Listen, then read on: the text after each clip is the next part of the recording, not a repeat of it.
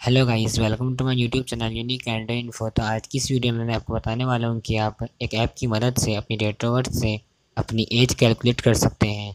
अगर आपको मेरी वीडियो अच्छी लगी तो मेरी वीडियो को लाइक करें शेयर करें और मेरे यूट्यूब चैनल को सब्सक्राइब करें। तो आइए आज वीडियो स्टार्ट करते हैं।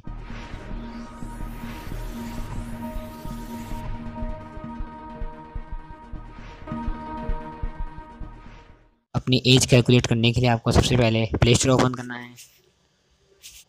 ओपन करने के बाद आपको सर्च करना है एज कैलकुलेटर।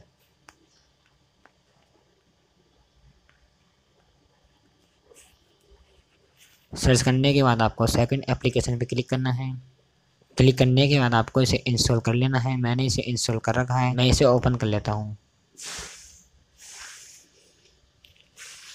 ओपन करने के बाद फ़र्स्ट ऑप्शन पे लिखा है टूडेज डेट तो इसमें आज की डेट आ जाएगी। सेकेंड ऑप्शन में आपको अपनी डेट ऑफ़ बर्थ लिख देनी है। मैं इसमें डेट ऑफ़ बर्थ फिल कर देता हूँ। इसमें मैंने अपनी डेट ऑफ़ बर्थ फिल कर दी है। अब आपको कैलकुलेट के ऑप्शन पे क्लिक करना है। क्लिक करने के बाद इसमें फ़र्स्ट ऑप्शन पे है एज तो मैं सत्रह साल, तीन महीने, उन्नीस दिन का हूँ। और मेरा नेक्स्ट बर्थडे आठ महीने और बारह दिन के बाद आएगा।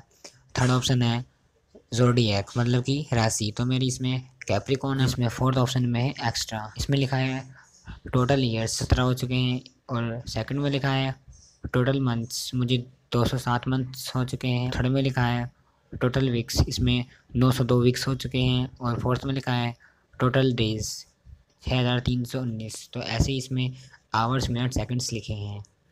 फिर फिफ्थ ऑप्शन में है अपकमिंग बर्थडेज़ फ़र्स्ट जैन 2021 में मेरा बर्थडे फ्राइडे में आएगा 2022 में, सैटरडे को और 2023 में, संडे को। तो ऐसे ही इसमें लिखा हुआ है।